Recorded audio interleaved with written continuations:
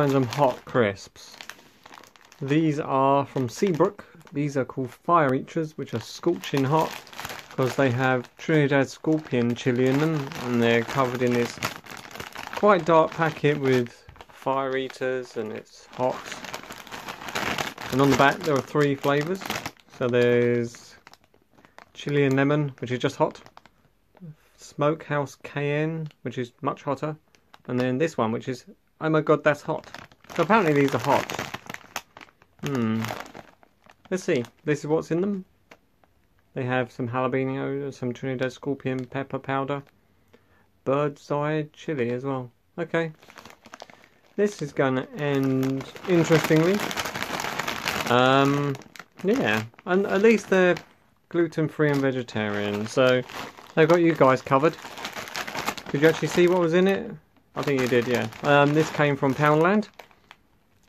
They had the other one, the middle one, but I opted for this one. So let's open up. I'll show you what crisps look like. They look a bit red.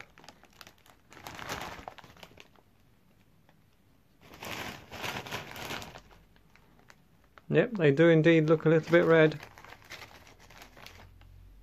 They're crinkle cut. They're quite thick. Hmm. Smell interesting. Uh, wish me luck.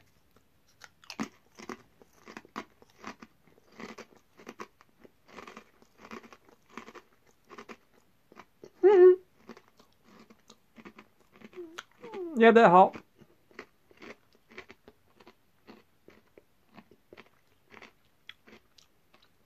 Wow. They're hot.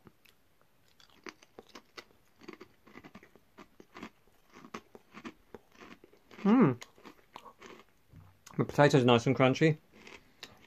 But they're hot and they just get hotter. Milk on standby. Oh, I haven't got any milk. Oh dear.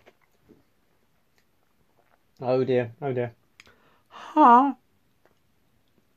Um. Well, if you like hot things, you probably like these. Um, if you're not into super hot things, you might manage too. Otherwise, if you're intrigued in any way, shape, or form, give these a try. I'll be back later. I'm not sure how they. I'm not sure how they did this, but somehow these are so hot they gave me a nosebleed. I'm not sure if it did it make my blood boil so hot that it decided to shoot out my nose? I don't know, but damn, they were hot. Anyway, see you later. If you've tried these, let me know in the comments below. Yeah, you know what to do. See you later.